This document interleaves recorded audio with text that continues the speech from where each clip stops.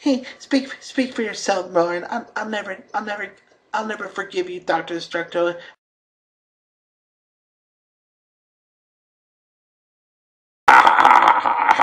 yes. Oh, that is so funny. you're, you're and you'll never get away. You'll, you'll never get away with this. With trying, trying to get rid of, get rid of me, and and you know, try to steal the master for your evil plot or for your breed.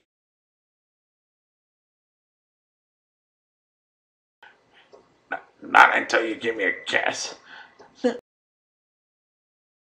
Boy, dying for one small kiss. Give me a kiss. Now. Dr. Destructo speaking.